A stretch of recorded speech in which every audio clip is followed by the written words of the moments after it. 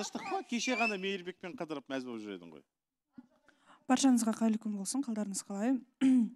Ойбой ауырып отырмын. Мазам болмай тұр. Суықтықты байқадың ба? Мен де байқап суық тиіп қалған ғой маған. Жоқ жоқ жоқ сенен шығып жатыр. Жоқ суық тиіп қалған амансың ба есенсің бе? Не болып қалды? А, амансың ба? Барлығы жақсы ма иә аружан иә барлығы жақсы шамалы түсіп отырған секілді не болды? Сізде ерсұлтанмен барлығы жақсы қалдық ұрысып қалдық. Осыдан бастау керек секілді иә? Сендер осы күніне қанша рет ұрысасыңдар Ер- ерсұлтан жиырма төрт сағатта жиырма бес рет ұрысамыз ау деймін походу. А яғни әр әр елу минут сайын. Керемет керемет. Енді ә, жақын арада ортаға шығады. Білмеймін қолдаушылары қайта қайта жазады. Ерсұлтанға көмектесші үйтші бүйтші ол кішкене тормоздау жігіт деп. Мен айтамын жоқ ол тормоздау жігіт емес. Нормальный жігіт ана қара қайтадан ұрысады қазірдің өзінде ұрысып отыр. Ой елу минут өткен жоқ қой әлі. Сендер де әлі не по расписанию ұрысып жатсыңдар ғой. Мына жерде ең қызығы негізі ұрысуға ә, негізі бар мәні бар жайы бар. Екеуі ұрыспай мәз болып кәдімгі ой жерден жеті қоян тапқандай қуанып шындықты айтып ақиқатты айтып жеңілдеп қалдым ба кемеңгер? Жоқ шах мырза нормально жақсы әлі айтылатын шындықтар бар дейсің ғой. Бәлкім шах мырза кешегі күннен кейін енді сендердің қолдаушыларың да бірдеме деп жатқан шығар иә? Негізі иә қолдаушыларымнан бөлек үйдегілерім де біреңке деп жатыр. Вот, енді соған байланысты енді барлығымен ақылдасып өзім де ойланып бір шешім қабылдаған болатын енді бұйырса бүгін айтатын боламыз. Бұйырса бүгін айтамыз. Иә. кеше жанар айтады ғой шах мырза кешірмейін десем жақсы көремін. Кешірейін десем намысыма тиіп тұр. Бірақ отбасының беріктігі әйелдің қолында ғой деп түф шіркін ай дегенсің ғой. Енді шын мәнінде бұл пікір білмеймін енді дұрыс па бұрыс па қалай ойлайсыңдар қыздар? Енді ке- кейбір енді шынымен де ондай көз бар, көзқарастар бар ғой. Отбасының беріктігі әйелдің қолында егер ол кешірімді болса онда отбасы берік болады иә негізі дұрыс айтасыз шах мырза. Егер де екеуміз отбасы болып ә, екеуміз ә, тұрмысқа шығып мен оған екеуміз үйленген болсақ можно было бы подумать а, бұл жерде екеуміз қарым қатынаста кезде сондай істеп отқан кейін мен болашақта отбасы құруға қорқамын мен ондай адаммен. Бірақ білмеймін мен отбасылық өмірді қыз бен жігіт болып жүріп бастағаннан санаймын мысалы өзімнің жарыммен. Кемеңгер қалай ойлайсың? Отбасының беріктігі сол әйелдің кешірімділігінде ме? Ә, білмеймін шах мырза әйелін кешіре береді деп ә, барлығын жасай берудің де қажеті жоқ деп ойлаймын бәрекелді кемеңгер. Иә. Ә, егер де ер адам қателессе ол қатесін жуып шаю керек. Негізі былай Қалай әйелін мысалы? кешіреді деп не болса соны жасай беру ол дұрыс емес нәрсе деп қателесті. Енді байқамай жүріп легкий флирт кетіп қалды. Не істеу керек енді? Ол байқамай қателессе енді шах мырза оны түсіндіру керек деп ойлаймын. Дұрыстап отырып ақылдасып мхм. жаңағыдай әңгіме айтып сол кезде кешірсе кешіреді енді кешірмесе шамалы жүгіру керек болады енді. Ал өзара сөйлесу болды ма сіздерде? Кеше жүгіріп жүрсің бе? Кеше тіпті қасына барып бірдеме айтудан қорықтың ғой. Мен бүйтіп көзбен ымдап тұрмын. Қасына барсашы қыздың деп. Жоқ шах мырза ол ашуланып тұрса оның қасына бару сөйлеу бесполезно. Өте қауіпті дейсің ғой. Иә өте қауіпті емес. Жауап дым да ала алмайсың. Просто ашу басылғанша күту керек. Бірақ шах мырза ондай случай мысалы әйел адам кешіреді деп кейбір еркектерде бар ғой мысалға сол істеген қателігін бірнеше рет істей береді да. Аха. И әйел адам қыз еркек адам оны түсінгеннен кейін ол қателікті жасай береді деп ойлаймын. Сондықтан негізі кешірмеген дұрыс. Кешірмеген дұрыс. Шах мырза венера ханым мен ә, осы бір аптадан бері ішіме ә, сыймай жүр да негізі. Ә, күмісайды алдында бір ренжітіп алғаным бар еді ғой сол бір күмісайдан бір кешірім сұрау мақсатында бүгін осындай бір ә, жаңағы сыйлық алып келген едім егер рұқсат болса осыны тарту етсем негізі сыйлық өзінікі күмісайдікі. Өзі үзіп алды жаңа соны. Мен ұялсай ол жас қойшы ниет қой главный сыйлық беріп отырмық қой. Түсінбедім күмісайға өз затын өзіне сыйлық ретінде қайтарып Иә. беріп жоқ енді ол кезде өзінің ә, өзінің қолында тұрды да ол нәрсе и кейін үзіліп кетті. Енді ол нәрсені тастай салды да ол и соны істеп мен сыйлық беріп жатырмын да өзіне. Міне күмісай қарашы осылай бар ғой ыыы білмеймін енді түсініксіз әңгімелерді бастайды өзі сол күмісай күмісай деп бастайды содан кейін күмісай маған үміттенбе. Сен үмітіңді үз маған деген деп содан кейін сөйтіп әңгімені соны жалғастырады айтамын ғой мен уже білмеймін қалай сөйлесу керек екенін бар ғой. Күлдім де ұрдым да ашуландым да уже түсінбеймін. Жаңа үзіп алған болатын браслетін бер дедім да сенің кесіріңнен үзілді деп кеткен едім оның кесірі тауып неге алып үзілді? Жоқ күмісай дәңгәлін айтсай аласың ба алмайсың ба? Дәңгәлін айтсай. Сен нервыма тимей браслетін қайтар егер тауып алған болсаң дұрыстаған болсаң. Жоқ керек па? Қазір жарнамада беремін. күмісай сенің білезігіңді қалай олжас үзіп алды? Э, короче мына жерде мен былай келіп отырайын деп жатқанмын орныма алдымнан шықты да и э, короче мені көтермекші болды. Сөйтіп мен оны ұра бастадым. Э, қой олжас десең түсінбейді ғой кетіп бара жатып потом мен оны ұра бастадым. Ұрған кезде браслетім үзіліп кетті. Жоқ күмісай негізі олжастың ара қатынасын ойлап айтып жатыр ғой. На самом деле күмісай мына жақта айғайласа да олжас көтеріп алып кетті оны. Жоқ негізі ә, негізі былай болды. Ә, біз кетіп бара жатқанбыз. үміткеріне біраз ойлану керек сияқты негізінде. Ақкенже айналайын күте тұрыңдаршы. Мен өзім ауырып отырмын қазір сіркем су көтермей отыр мына жерде кетіп бара жатқанмын и алдымнан кәдімгідей ә, корейский дорамадағыдай өтіп баратты да и ана жерге құлайын деп қалды мен сол кезде ұстап бүйтіп көтеріп алдым да содан кейін музыка студияда жоқ шынымен құлап бара жатқан жерінен өмірін құтқарып қалдым мысалы қазір құласа ол денсаулығы енді біразға жарамай қалатын еді ғой соған көмектескеніме маған ренжіп отыр енді мысалы ақкенже енді сен қалай көріп қалғаныңды білмеймін мен көзімше дорамадағыдай болып көрінді да құлап бара жатқан кезде ол қалдым құлаған жоқ негізі ол енді отыздардың шамасында ғой біз тұрған кезде басымыз айналып тәлтіректеп қаламыз енді сондай болады негізі ол құлап жатқан жоқ ол негізі ол бір қалыпты жағдайы оның онда тұрған ештеңе жоқ бірақ енді олжас мына жерде кәдімгі күмісайдың білезігін ұрлап алады жаңағы галинаны әтір суды ұрлап алады. Галина терең ойға батып кетіпті ғой бүгін. Тіпті галинаны өткенде көтерген сәті орын алған еді олжастың. Білмеймін. тағы да сен ба көтеріп жіберген? Иә олжас көтеріп жүр құлайын деп бара жатқан негізі ол кезде сондай болып қалды енді шах мырза. Ол кезде сіз жоқ едіңіз. Ыңғай негізі ыңғайсызданамын мен ол нәрсе үшін ііі қателік жасадым. Қолымның сұғанақтығы ол жерде кінәлі негізі. Өзім кінәлі емеспін деп сол себепті бүгін күмісайды көтерейін деп шештім. Жоқ күмісай күмісайға енді сұғанақтанған жоқпын. Ол енді жаңағы талып бара жатқаннан кейін мен ұстап қалып өзімнің ер азаматтығымды көрсеттім деп ойлаймын. Бұл жерде артық нәрсе көрген жоқпын мен. жарайды. Енді ә, галина айтпақшы кеше мысалы кемеңгер мен жанелдің арасында болған ә, мәселеге сенің де қатысың бар. Иә. Түсінгенім бойынша жанель өзі өтініп білдіріпті сен де жаңағы женский солидарность деп барып көмектесіпсің иә? Ә, түсіндім. Бірақ сенің ана ұсыныс бір жұп болды ма білмеймін бір ұсыныс көрдім екеуінің. Иә шәке галина өз тарапынан қыз ретінде жолдасқа ұсыныс жасаған болатын бірақ ұсынысқа жоқ деген жауапты естіді а жоқ деді ме? Иә. Тұра тұр сен жасадың ба ұсынысты? Иә мен ә, жолдасқа өзімнің жүрегімді жүрек жарды әнімді арнаған болатынмын. Содан кейін ә, жолдасқа жігітім болшы деп ы, ұсыныс жасадым. Енді ә, бірінші қадам өзім жасап көрейін деген сияқты оймен өзім- жайша ма әдетте солай жасайтын ба едің қалыпты жағдайда? Жоқ мен ә, ешкімге олай жасамағам. А жолдасқа неге жолдасқа білмеймін енді мен өзім жолдасты ұнатып қалғасын солай жүрегімнен солай өзім өзімнен сондай нәрсе шықты мен жоқ жүрегің жүрегің базар жоқ деймін да. Қалай бір апта өзің жақсы көріп қалып жігітім боласың ба еще маған жігіттің жауабы ұнады да мынау енді сәл қате болды ма? деген жауабы өте ұнады маған шы красавчик екен маған және кешегі әңгіме қалай әсер етті деп ойлап отырмын да енді. Ол жігіт мүлдем тоқтатып тастады ма? Таныстықты түсінбедім. Иә осы жерде сен ортаға келші дұрыстап сөйлесейік.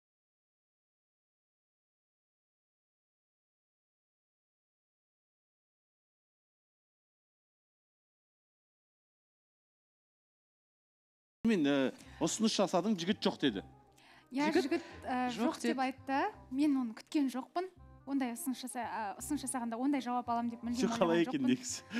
Елдің алдында ұсыныс жасап тұрған кезде жігіт жоқ десе. Өте ауыр. Өте ауыр. Қандай сезімде болдың? Не істедің? Ә, өте қатты. үйге бардым да кемеңгермен қыдырам дедің бе? Қалай? Жоқ жоқ ә, шах мырза ол мүлдем олай емес. Ә, қатты ауыр болды. Халықтарда мысалы көрермендерде барлықтары сен қызбасың мен не үшін олай жасадың не үшін олай істедің? деп қолдап жатқан ада, адамдар да болды. Бірақ даттап мені жаңағыдай қаралап жатқан да адамдар да болды. Түсінді ғой ол, ол адамдардың болатыны заңды қандай сезімде болады екенсің өте қатты қатты жаман. Біресе күлкім келеді біресе жылаймын біресе күлкім келеді біресе жылаймын да андай бір а біз қазір мысалы сені ортаға шақырып жатырмыз. Жолдас сонда таныстықты тоқтатқан жоқ па? Таныстықты негізі осы жерде отырған кезде ә, бірінші ә, өзі ашу үстінде тоқтатып кеткен болатын негізінде. Одан кейін ол мені блоктап тастады сөйлеспей кеттік.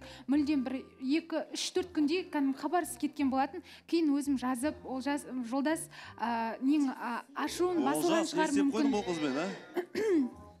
Ашуын мүмкін басылған шығар ә, осылай осылай сөйлесейік мүмкін кездесейік деп сөйтіп айтып жазып жүрдім.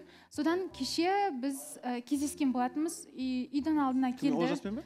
жоқ жолдаспен. Жоқ просто мен жақынша шатаса беремін да жолдас олжас деген дұрыс жолдас ол. Бірдей ғой то айтсаңшы ә, сөйтіп келді. Келіп сөйлескеннен кейін негізі таныстықты сол сыртта тоқтаттық. Бірақ сонда да мен ә, жолдасқа өтініш білдірдім. Халықтың алдында басталған нәрсе болғасын таныстық болғасын осы жерде келіп тағы да сөйлесейік. Мүмкін ә, бір нәрсе шығып кететін бірақ әлі де мен сенен үмітімді үзбеймін деген өзімнің сөздерімді айтқан болатынмын. А жолдасты не ренжітті соны түсінбедім. Яғни ұсыныс жасағаның ба жоқ әлде кемеңгермен қыдырғаның ба? Кеше талай халық айтып жатыр. Сендердікі тыныштық па? Жай ма? Назгүл? Жоқ кешіріңіздерші. Микрофонға айтыңыздаршы өтініш кешіріңіздерші мынау мыналар кінәлі. Шыбын ба бір нәрсе? Аслан микрофонды алып өзің түсіндірші. Жоқ ә, менің қолыма мына жақтардан ақкенженің қолынан подарка олжасқа деп берді да күміс айдан деді. Сөйтіп алсам өлі қалған шыбын екен. Соны мына жаққа бергенмін ғой содан кейін шошып кетті болды балабақша десе балабақша. Сол өліп қалған шыбынды әңгімелеген де иә. Не ғой ә, жолдас сонымен неге ренжіді? Кемеңгермен жаңағы жасаған дүниеге ме жоқ ол нәрсеге мүлдем жоқ жоқ ә, кемеңгермен болған ситуацияға мүлдем ренжіген жоқ. Басында айтты негізі түсінбей жатыр едім. Эфирді көрген кезде кейін жанелдің сөзін естігеннен кейін нормально болдым деген ә, өзінің пікірін айтқан болатын. Және де ол не үшін ренжіді? Себебі сен менің абыройымды төктің деді. Сен менің намысыма тидің сен менің абыройымды төктің. Бізде бәрі жақсы болғанда сен күткен кезде мен саған өзім ақ ұсыныс жасайтын едім ғой деген сияқты неге күтпедің соны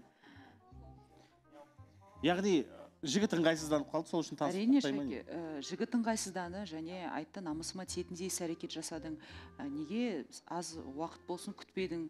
Ә, барлық қадамдарды өзім жасайтын едім деді жігіт. енді бұл бұны әзіл ретінде қабылдап одан трагедия жасамай содан кейін келесі жолы өзің ұсыныс жасай салсаң әрине шәке сонымен ә, таныстық тоқтаған сәтте қазір эмоцияға бой бермей кішкене сабырлық танытып сыртқа шығып сөйлессеңіздер деген біздің өтінішіміз болған. Жарайды ендеше сабырлық танытып сөйлесті ме нәтижесі қандай болды? Жалпы келді ме жолдас жоқ па? Кеше өтініпті бірге көрейік ортаға шақырайық келсе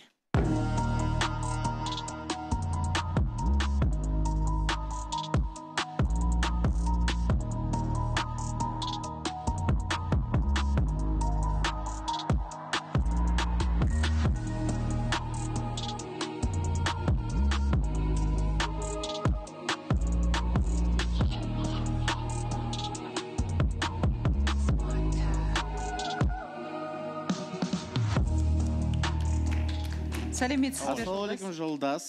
Танысқаныма қуаныштымын қалыңыз қалай көңіл күйіңіз жақсы өздеріңіз ма қалайсыздар? Шах мырза кеше сізді бірінші рет көріп жатырмын ә, эфиріңізді бірінші рет танып жатырмын өте риза болдым. Көрімдік күшті күшті жүргізеді екенсіз рахмет рахмет. Ә, өткен енді мен сізді бірінші рет көріп жатқан жоқпын. Енді экраннан көрдім. Ә, ауруханада жатқанда сонда бір ұсыныс жасалып бірдемелер болып жатқан еді. Мен сіз жасадыңыз ба деп ойлап қалдым. сөйтсем галина жасапты. Енді шын мәнінде кішкене ыңғайсыздау бір дүние енді бір қа- қателеу бір дүние. Бірақ дей келе бұл бір негативті ә, бастауы жоқ бір әрекет қой. Енді сізге деген сезімі сыймай тасығаннан кейін бірден қыз жаңағы өзі солай жолдаған шығар. Сіз Ә, жалпы әдебиет оқисыз ба? Қатты оқимын деп айта алмаймын. Қатты Ә, мен обычно ә, подкасттар көремін. Аудиокнигалар тыңдаймын. Енді мектепте оқысаңыз онда міндетті түрде александр сергеевич пушкин дегенді оқуларыңыз керек еді. Соның евгений онегин деген несі шығармасы бар. Сол жақта татьянаның хаты бар. Мхм. Ә, қараңыз ә, бұл ә, түсінікті ғой әдебиет дейтін шах мырза қай жерден бастарымды білмеймін қалай түсіндірерімді. Ә, басынан бастап өтейін. Сіз болмаған шығарсыз. Қалай и ә, мен галинамен ә, басында кездескен кезінде бәрі жақсы болып келе жатқан еді. Күшті болып келе жатқан еді. И ә, төртінші ма үшінші ма кездесуіме почти каждый день айтатын ә, қалай айтсам болады. Енді мен мына передачамен қалай айтсам болады ә, случайно кіріп кеттім. То есть бұрында танымайтын. Галинаны да. Галинаны да қатты танымайтын осы передачаны танымайтын. И қалай айтсам болады күн сайын айтатын абыройымды төкпеші деп ше? Абыройымды төкпеші деп ше? Сөйтіп айтатын Галинаға? иә галинаға. Окей вроде естіген сияқты. Мен ә, естіген сияқты едік просто бір бірімізді күн сайын айтатын едім күн сайын жазатын едім былай түсіндірген сияқты едім.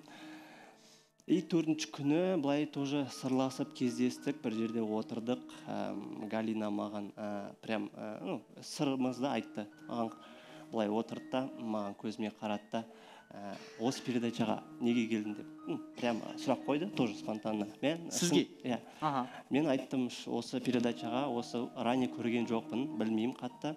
Шындығымды айтам. Мен пока қартаймағанша мен ә, өзімді жарымды іздегім келген. Мені біреу жақсы көретіндей дегенде өз, өз жауабымды бергем. Шын жауабымды бергем. Сосын галина өз жауабын алды. То есть бәрі маңызды дегендей болды. Осы передачада маңызды дегенде хорошо мен келістім до конца барам любой неге до конца барам только бір ғана шартым бар өтінішім бар дедім. Абыройымды төкпеш дедім мхм. И ә, сөйтіп сөйтіп ә, кездесіп жүрдік жақсы болды свидание жасадық ә, ухаживать еттім ә, көңілін алуға тырыстым тыңдауға тырыстым дегендей ә, неше түрлі жерге бардық ә, өзім и қай жерден бастан бастады? И келесі күні ә, былай сөз салғаны маған қалай айтсам болады шок болды. Шок контент десем де болады өз өзімді кішкене жоғалтып алдым. Ә, яғни сізді иә, тіреп өтейін. Қалпыңыздан шығарғаны жаңағы ұсыныс жасаған иә мен айттым ғой вроде күнде айтып жүрген сияқты едім. Абыройыма тимеш до конца барам. Просто абыройыма тимесең до конца барам дедім. Ә, достойно жүрейік достойно кетейік. Дұрыс да иә достойно живите достойно умрите дегендей ғой иә и солай болған менде ойым бәрін вроде жеткізген сияқты едім деп ойладым. Бірақ осындай ұсыныс жасағанда кішкене түсінбей қалдым. Шок болып қалдым өзімді уязвимый сақтап қалдым потеря болып қалдым. Сосын чуть чуть қалай айтсам болады. Сол сосын шығып кеттім. Неден передачадан кішкене ашуланғаннан кейін кетіп қалдым. Ә, галина бір екі күнге блокқа кетті.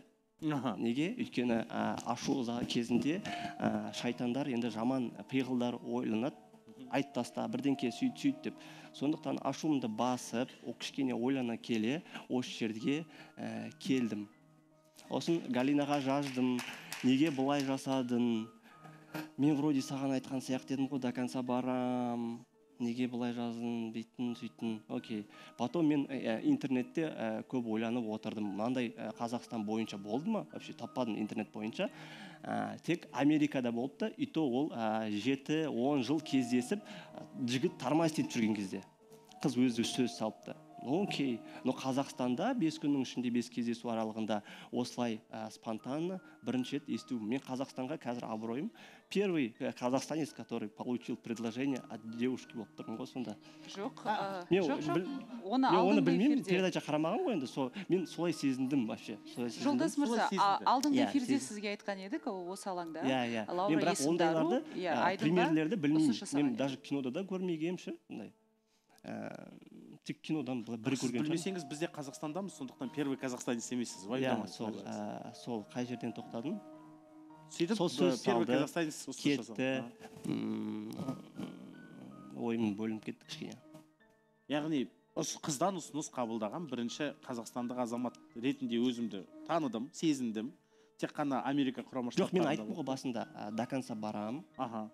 Только абыройым яғни бұл әрекет сіздің абыройыңызды түсірген иә мысалы айтты потом мен комментарийдан оқыдым ә, кеше кездестік мен жақсы көріп қалғаныма кінәлімін ба деді да қыздар да?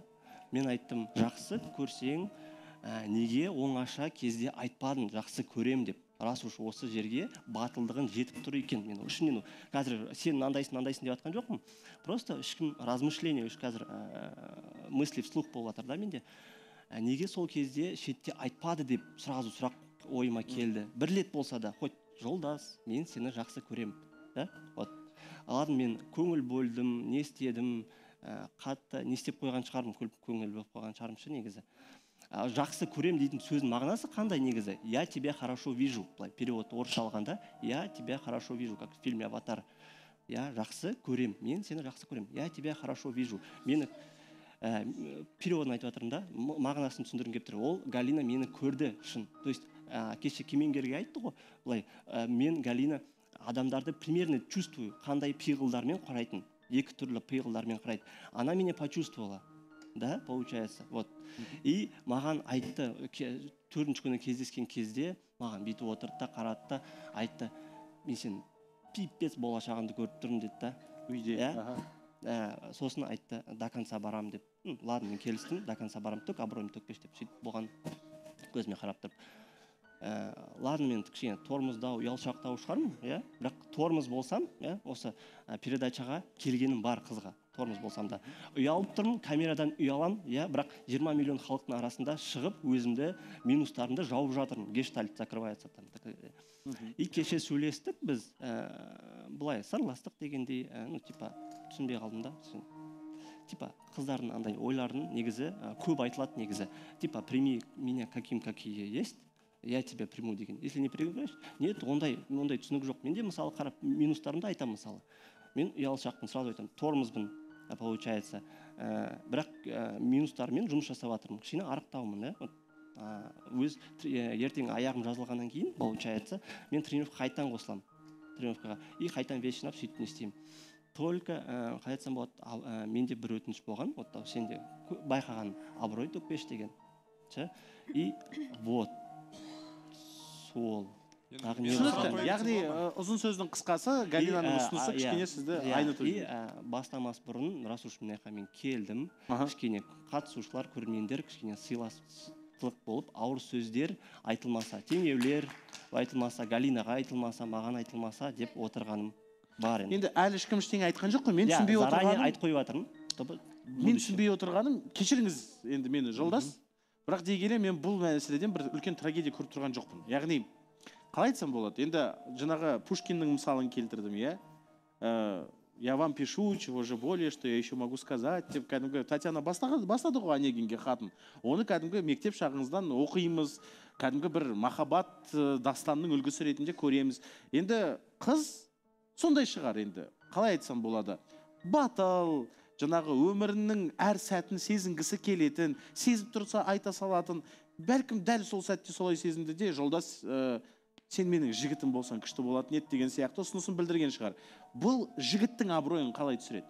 А, қараңыз ә, шах мырза мен бұл жерде галина бұл жерде мен сөзімді ұмытты деп ойламаймын. Мен күнделікті айтатынмын менде маған бір ғана ә, не маңызды шартым болған шарт емес просто даже абыройымды түсірмеші. Иә күнде айтылады сұрақ мынандай абырой қалай түседі? Мысалы мен жүрмін бір қыз жүгіріп келді де шах сен менің жігітім боласың ба? деді. Менің абыройым қай жерде түседі бұл жерде? Бұл жерде мен қазақстанда туылып қазақстан менталитетімен өскендіктен ол сіз литератураны айтып жатсыз ғой литература бөлек шын өмір бөлек негізі қазақстанға келетін болатын болсақ алатын болсақ. Сондықтан мен солай өскенмін. И бәрі қа- қазір қарап жатқан кісілер сөйтіп ә, ойлап жатыр енді. А қызық. Негізі ә, иә қызық көзқарас ә, я тебя хорошо вижу деп галина айтыпты қаншалықты жақсы көреді екен ә, жолдасты оны жарнамадан кейін көрейік. Бәлкім таныстық жалғасатын шығар.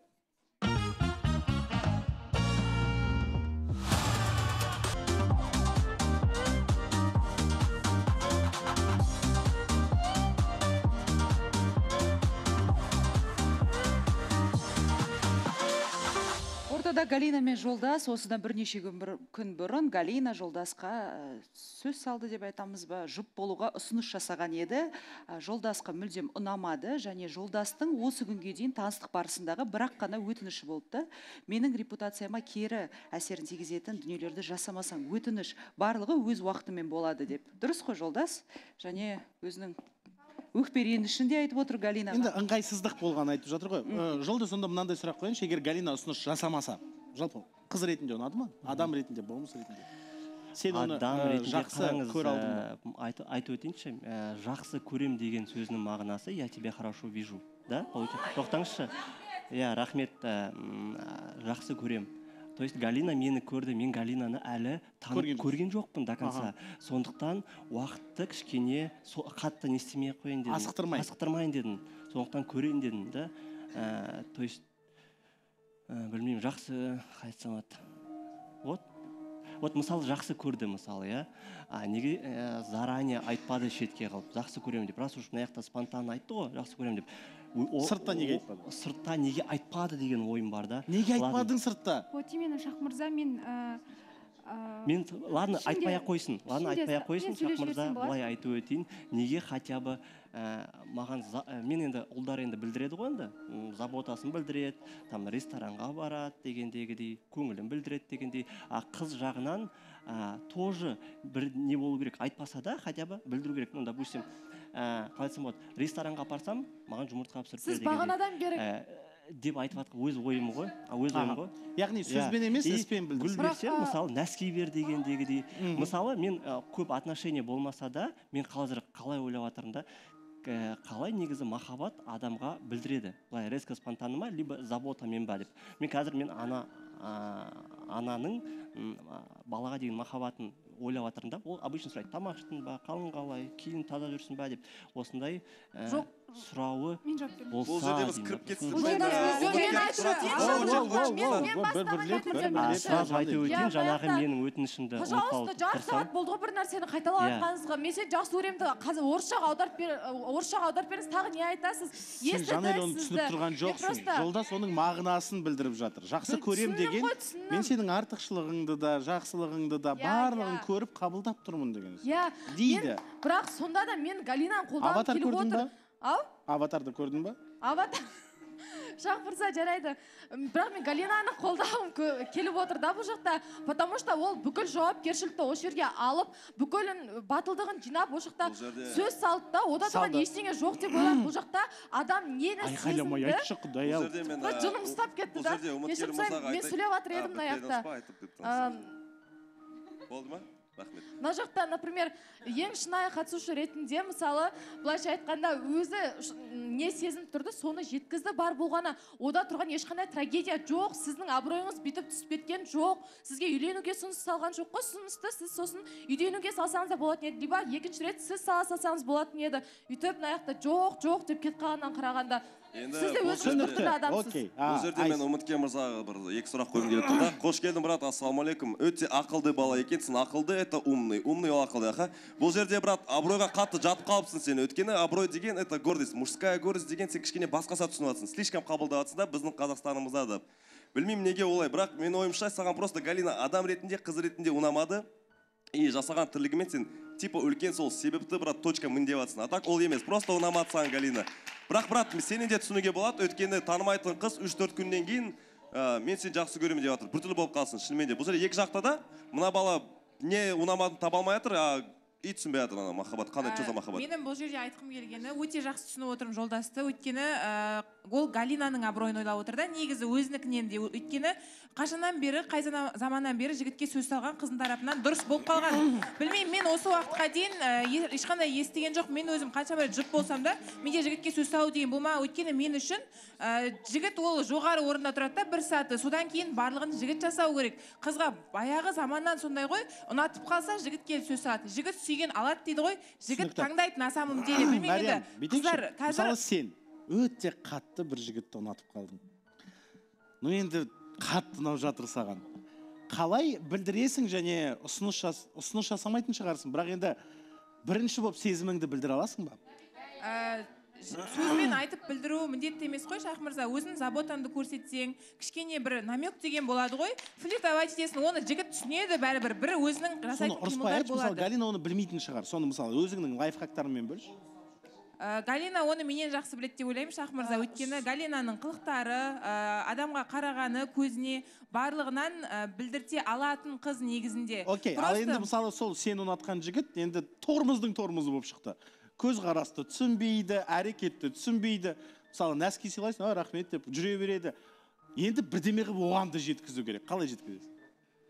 Оған жайлап бірге кездесіп отырған кезде айтасың ә, енді білмеймін өзінің сөздері бар. Енді ортаға шығып алып менің жігітім бол емес басқа сөздер бар ғой шах мырза. Иә. оны ә, түсінбейтін адамның өзі білмеймін түсінеді деп ойлаймын ондай сөздерді. Бірақ ә, мен жолдасқа айтқым келеді де мында ә, мен галинаны көрген жоқпын дейсіз да но сізге не помешало же оны құшақтауға қолын ұстауға? Жалпы білмеймін ә, жақсы көрмедім танып біле алмадым деп тұра қазір сіз өзіңізді өте андай ә, қалай айтсам екен, ақылды бір жігітке жігіт сияқты ұстап отырсыз но білмеймін қызды ә, бес свиданияның ішінде құшақтап қолын ұстау қаншалықты дұрыс менің ойымша. екіншіден айсажан ойымды толық жеткізе салайыншы ренжімесеңіз сарапшы мырза ойымды до конца айтайын. енді көрініп тұр ақылды бала екенін. Өзінен ақылдары жетпей ма? Біреуді ақылсыз демеу керек. Ә, сарапшы мырза сарапшы негізі соңында айтады сондықтан ойымды до конца жеткізе салайын жарайды енді мына жақта иә болған жағдай мүмкін ыңғайсыз болған шығар. Ол күні сіз ә, ренжіп қалдыңыз бірақ ә, қанша күн өткен бойы сонша күн бойы қайғырып жүргеніңіз қаншалықты дұрыс? Ол ә, бір шынымен де трагедия болатындай галина адам өлтіріп кеткен жоқ бетіне қарамай кететіндей ә, жалпы болашақта егер де өмірлеріңізде өміріңізде сіздің бір нақты бір проблема болса тоже депрессияға түсіп кетіп гуглды ақтарып кетесіз ба? Гуглдан дейді? Жоқ жаңа айтты ғой гуглдан іздедім деді ғой қазақстанда мен жалғыз жігітпін деді. Иә, сол иә, иә, соны айтып жатырмын. Қаншалықты кешірімдісіз деп сұрақ деген не айтсам болады. Маған галинаның ә, қатты әдемілігі емес оның тән емес маған жүрегі маңызды бірінші очередь окей. Да? И қандай жүрек соған барып уже мен тартыламын. Түсініп тұрсыз ба? Өлең бар ғой тәні тән емес ә, жүрегі маңызды маған. Бірақ барлық проблеманы сіз через гугл шеше алмайсыз ба? жоқ мен ә, оған тіреліп қоймай ақ қояйыныз мен просто ә, просто қалай айтсам болады іздегенім бар дедім. Жоқ енді менің айтайын деген ойым еркек ана еркек еркексіз ғой жалпы иә? Ә, вот ә, бір рет ладно бір күн депрессияда болдыңыз бірақ одан кейін кішкене жинақталып саралап бір күннің ішінде болмайды ма? Әлде обязательно үш күнде депрессияға кету керек па? Мен депрессияға кеткен жоқпын. Ә, мен мына жерде ешкімге ә, злобам жоқ депрессиям жоқ. Мен просто ойландым ойлануға уақыт сұра- ә, не істедім. Мында менде ә, Шешім сұрақта ә, айтып жатсыз ғой сондай ұсыныс менің абыройымды төкті деп. Жаңадан бері абырой туралы айтып жатсыз да. Я первый казахстанец дегенмен сіз өзіңіздің абыройыңызды көтеріп жатсыз ба түсіріп жатсыз ба? Түсіріп жатыр өз ба негізінде айтпаған дұрыс еді иә айта кетейінші мына жерде жалпы бұл жерде, мүмкін дұрыс емес шығар иә? Бірақ айтып жатыр ғой тормоздау жігітке мүмкін дұрыс та шығар. Жаңа айтып жатыр ғой біреулер қулықпен басқаша жеткізеді сезімін. А мүмкін шынайы түрде ашық түрде жеткізгісі келген шығар қыз. Бірақ жолдас мырза сіз айтып жатсыз да менің намысымды түсірді деп ойлап отырсыз ба? Әліге дейін? Егер намысыңызды түсірген болса сол күні қоштасып кеттіңіз еще и комментарий жазғансыз бір талай қылып бүгін ә, келуге қалай намыстанбадыңыз? Ә, мына жаққа келгеннен кейін ә, комментарий жазады маған студия сұрайды галинаны сұрауы бар.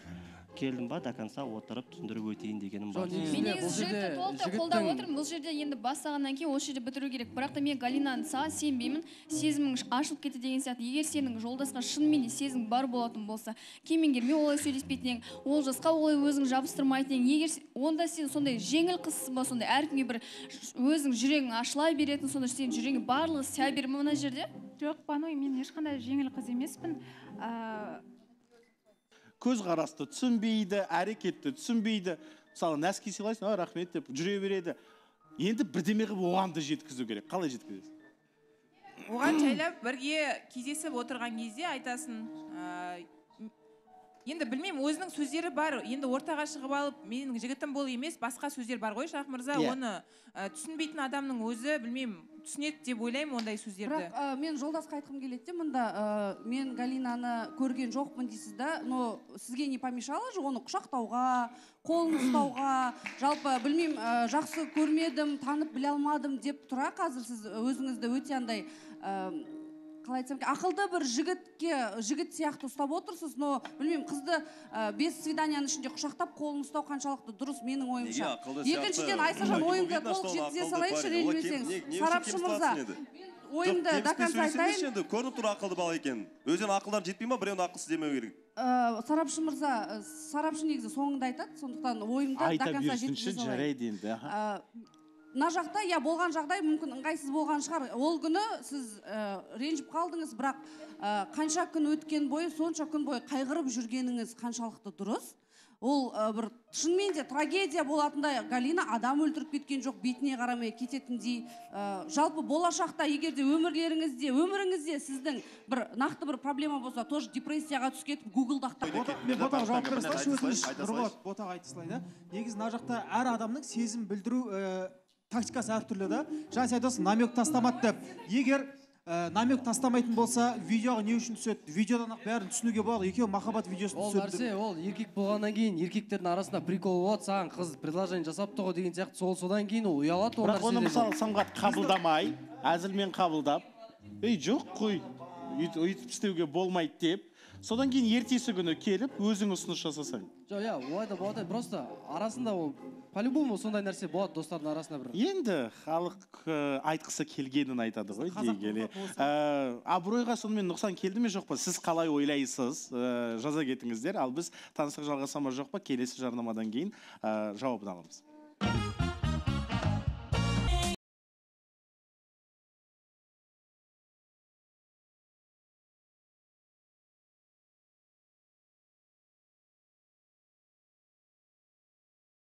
Мен бағдарламаны жалғастырайық. Ортада галина мен жолдас. Галинаның іс әрекеті тікелей жолдастың абыройына нұқсан келтірді ме деген сұрақ және өкпе ренішіне айтарың бар ма галина? Өзіңнің өзің ойлайсың ба абыройын түсірдім мен?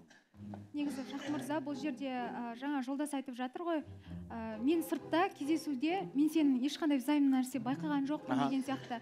И менде до этого отношениеде мен жігітке өзім барлық нәрсені бірінші жасайтынмын да.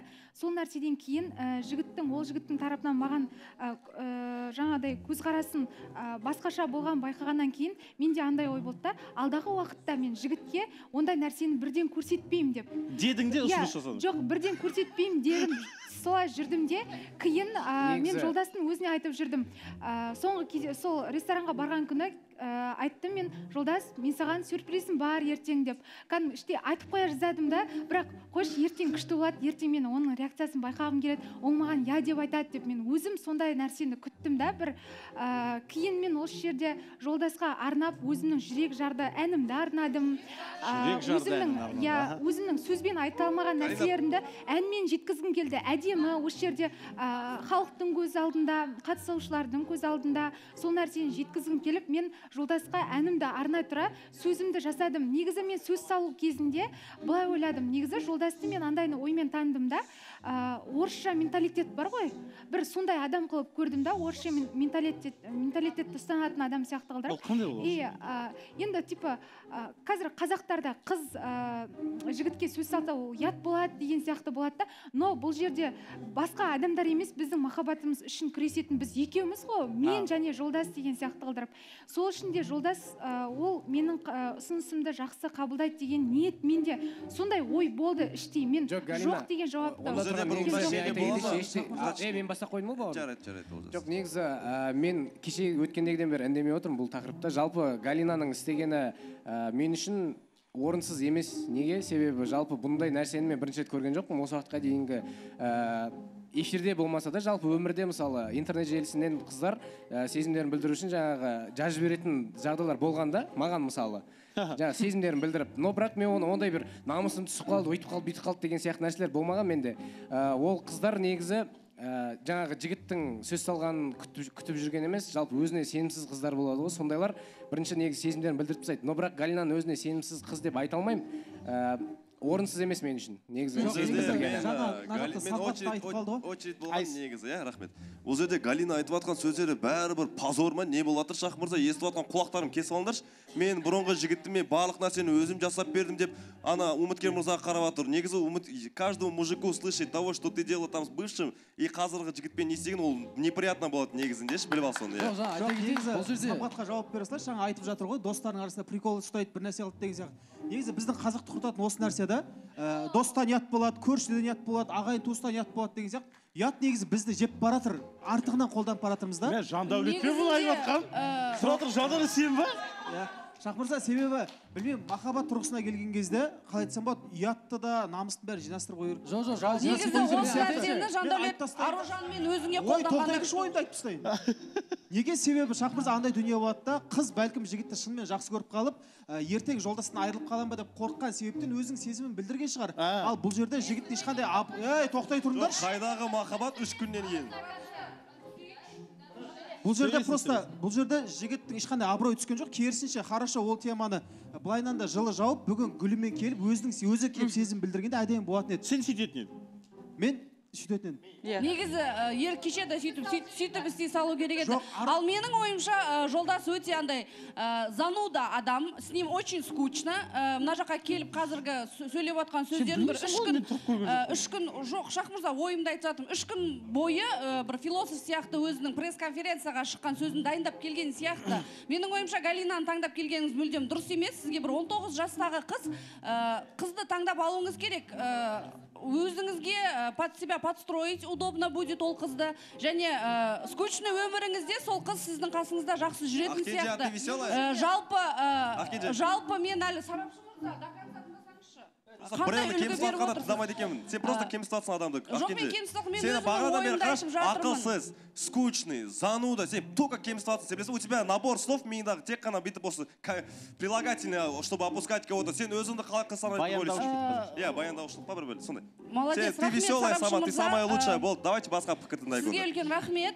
Ә, менің ойымша сондай 19 жастағы қызбен ә, сіз танысуыңыз керек еді. Мына жақта намыс туралы айтып жатырсыз айтып жатырсыз абырой деп. Егер сіз шынымен де өзіңіздің намысыңызды ойласаңыз жалпы галинаны таңдап келмес едіңіз. Ә, мен осы жерде басқа қызбен танысқаныңыз жөн болады деген сөзге қосыла кеткім келіп тұр. Өйткені жолдасқа бір совет деп айтсам болады. Өйткені Кеңес. ә, иә кеңесім ә, галинамен ә, галинаны кешірмегеніңіз жөн. Өйткені галина сіздің абыройыңызды бір төксе ол екінші ретте қайталанады деген сөз. Елдің алдында басқаша абыройыңызды төгуі мүмкін. Және де не біздің алдымызда мысал отыр ғой кемеңгер бір ә, көзге шөп салған адам екі рет салады деген сияқты дәл біріншіден біріншіден мерей қара біріншіден мен жолдастың көзіне шөп салған жоқпын. Екіншіден мен жолдастың абыройын түсіретін іс әрекет жасаған жоқпын. Мен бар болған өзім сезімімді білдірдім. Мен оны жай ғана барып жолдас мен жігітім боласың ба деп айтқан жоқпын. Просто так мен әдемі жеткіздім әнімді дайындадым жолдасқа арналған әнімді дайындадым сөйтіп барып жеткіздім. Жоқ бұл жерде айтып жатыр ғой шах мырза венера ханым абыройы төгілген жоқ ешқандай деген сияқты. Жаңағы сөзімді қайта айта кетейінші Айта кетші. ортасы өзің достып сондай круг болады ғой енді шамалы бір айтып қалса эфирден көргеннен кейін саған айтады да «Ей, саған қыз предложение ұсыныс жасады ғой деген сияқты.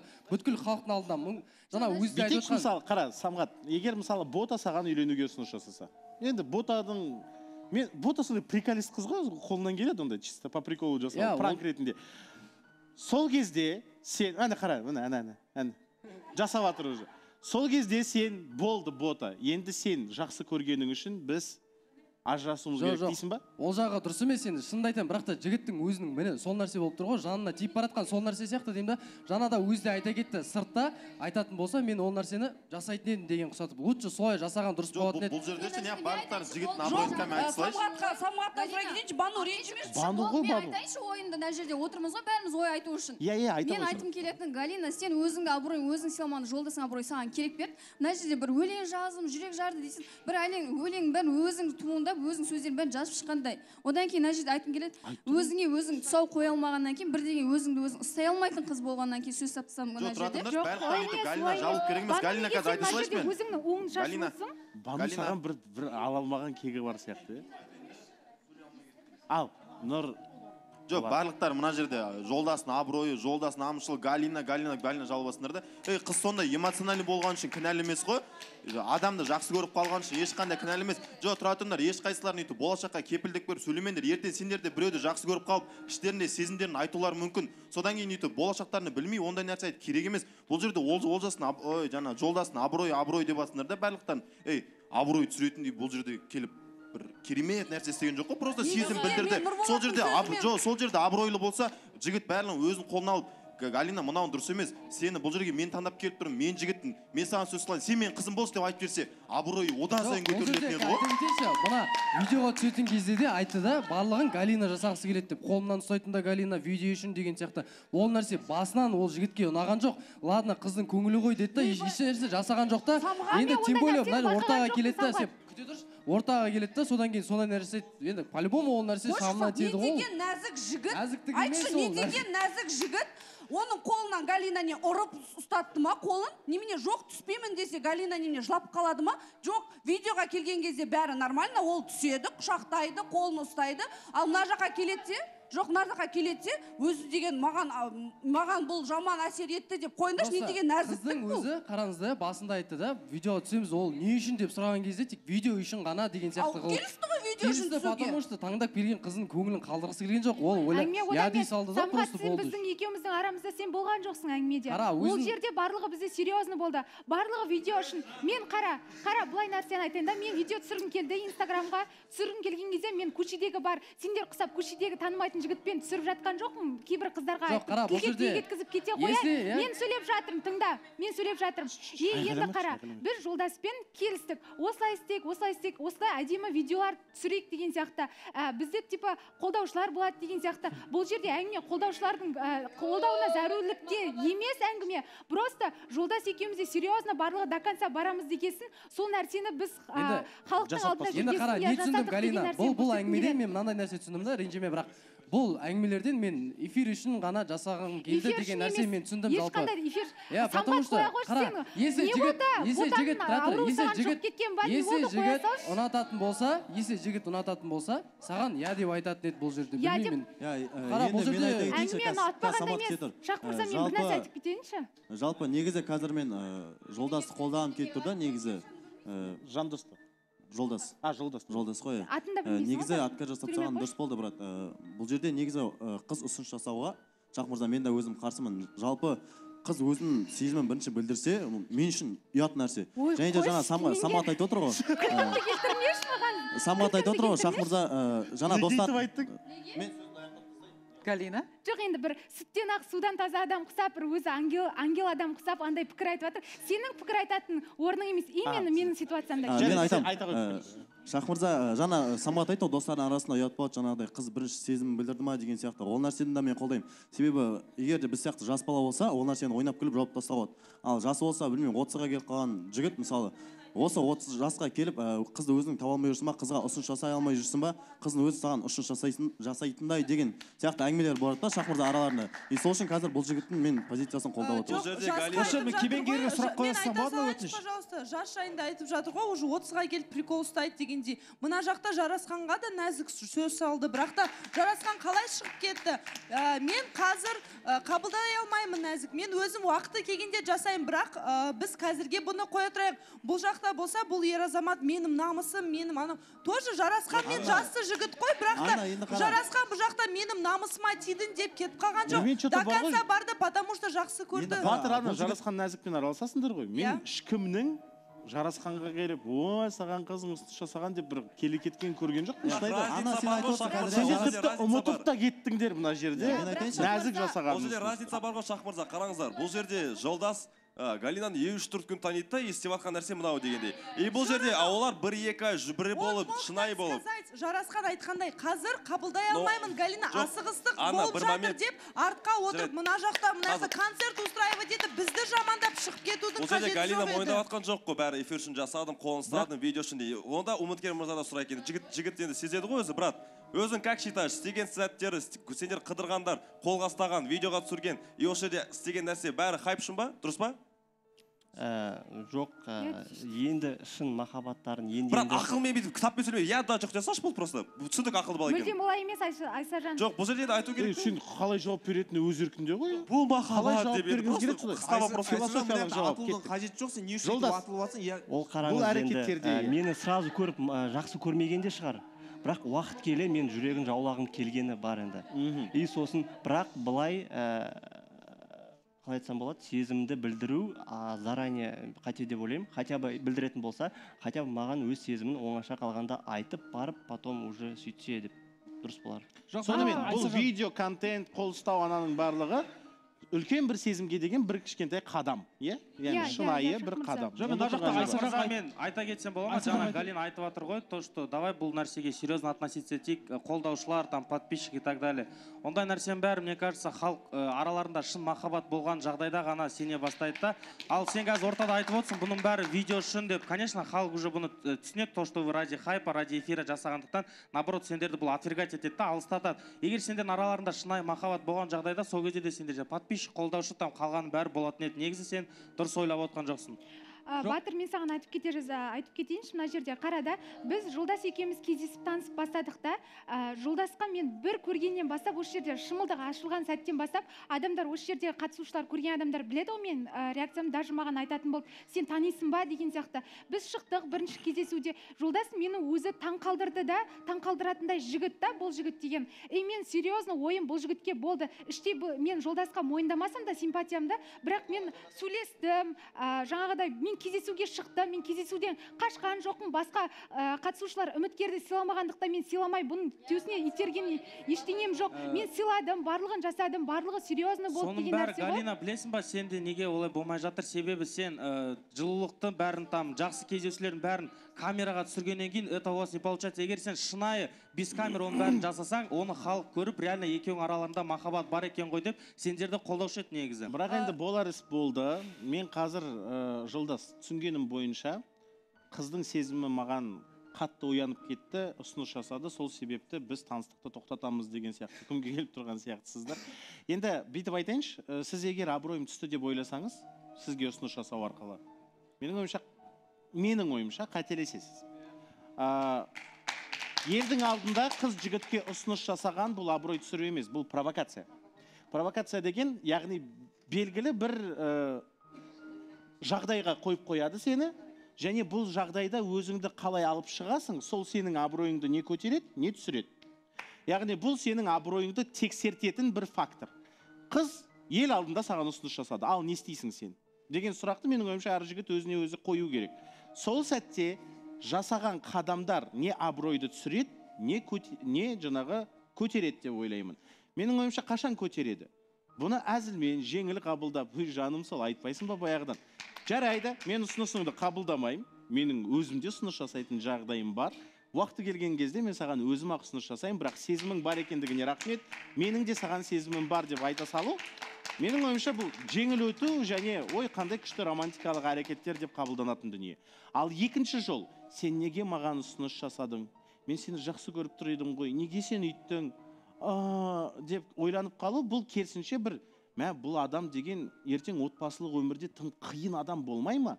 Ертең мен мысалы беш бармағымды кішкене тұзын көбірек салып жүрсем оны үш апта әңгіме қылмай ма? Яғни егер мен оның киімін үтіктемесем ол маған үш жыл соны есіме салмай ма деген сияқты бір қорқынышқа келеді ғой адамдар деген.